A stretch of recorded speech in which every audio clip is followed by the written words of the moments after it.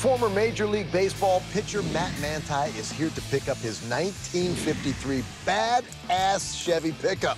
Now, when he sent us this truck, this thing was a pile of parts. We've put her all back together and added some of the baddest, seriously sweetest customizing touches, making this truck probably one of the baddest trucks we've ever built. We paid tribute to Matt's whole family in this creepy, cool kind of way, and now they're here to check it out. I hope they like it. You brought us a really great project. We started with something really cool. Well, I'm excited. I can't She's wait. I cannot wait to see it. I can't wait to hear it, see it, We're it. super proud of this truck, man. I, hope mean, so. we went off. Hayden, this could be yours when you turn 16, brother. Oh, you crazy. when he turns 46. Ah, that would be better. There you go. All right, I think it's time. Roli! Bring that truck out, baby!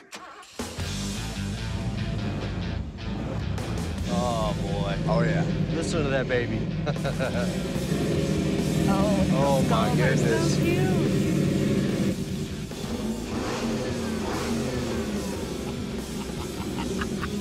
That is ridiculous. Holy Moses.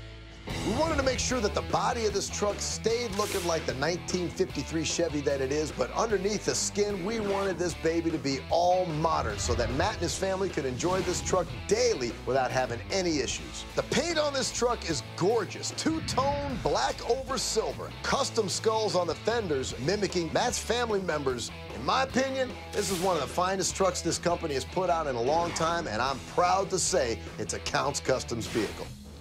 Oh, my goodness. Soak it in, man. Wow. It's a brand new vehicle wrapped in an old vehicle's body. Oh, my goodness. The chassis design, suspension, brakes, motor trans, everything is brand new. Oh, look at the interior. Oh, nice touch with the baseball. I baseball. mean, what kind of shifter should you have? It's awesome. That is perfect. The paint on this thing is amazing. It blinds you. I love the skulls. look at that. It's so cute. Oh, for sure. That's great. This Yeah, is man. unbelievable. Just It can't is. be gorgeous. Look at this thing. You ready to see what's under the hood of this thing? Yes. Huh.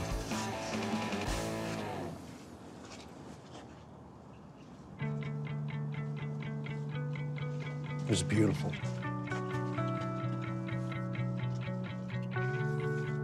To open up the hood was brought back some good memories. The, the artwork, the paint is tremendous. That is exactly what I wanted. Hope that means we hit it on the mark. Killed it. Thank you. Amen, brother. Thank you. you. got it.